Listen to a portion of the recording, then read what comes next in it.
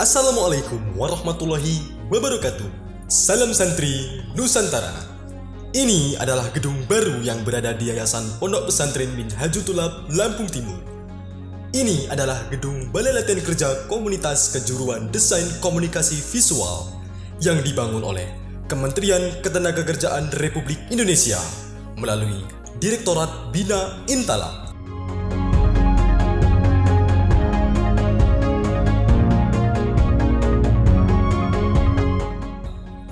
Gedung ini telah selesai dibangun pada awal tahun 2021. Gedung ini akan menjadi tempat pelatihan kerja di bidang desain komunikasi visual.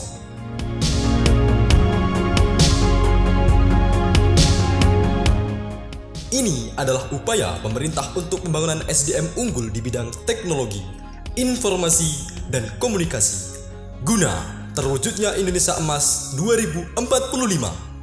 Persiapkan diri Anda untuk bergabung bersama kami